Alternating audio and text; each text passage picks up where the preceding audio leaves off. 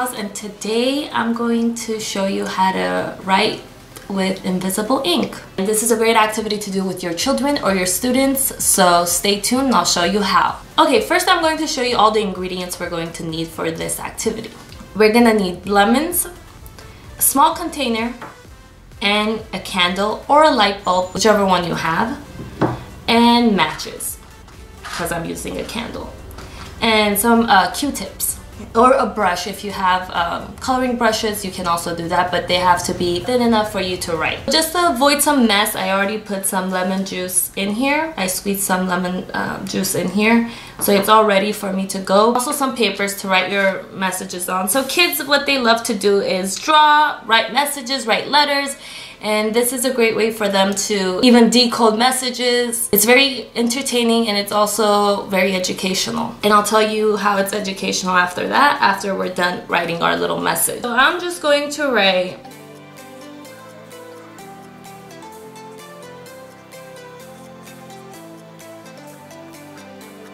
So you want to make sure you're getting it everywhere and also let it dry for a couple of seconds.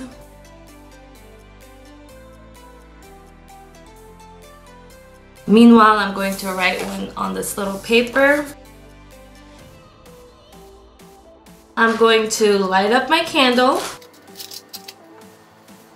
This part, kids will need adult help. You do want to be there when this activity is being done, especially this part because it can get a little dangerous.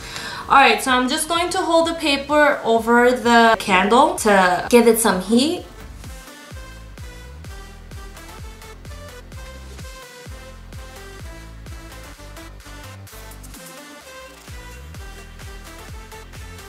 So as you can see, it's turning uh, light brownish. It's kind of light brown and if you keep it on long enough, it'll turn black. It can also turn black. There you go. That's my little message. It says, yay. I'm sure the kids will ask, oh, you know, how did you do this? And some, they're gonna have some questions.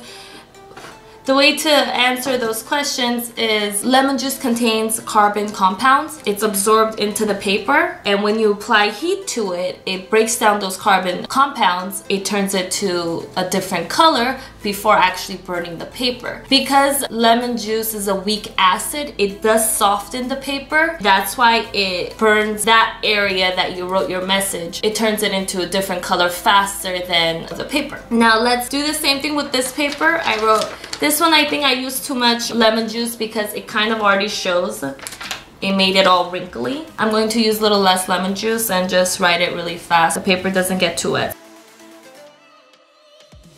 Okay, let's just let that dry too. Alright, I'm gonna write a little more here.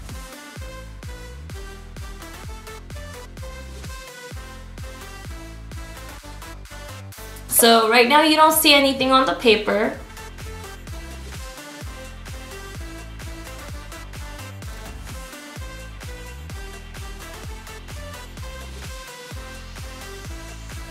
There you go. Isn't that cool? Now I want to also practice, I want to try out to see if I hold it the opposite way how it's going to be. And this is great for kids to just experiment, see results. Okay, so I'm just going to write. Alright, now instead of holding it the way I was holding it, I'm gonna turn it upside down.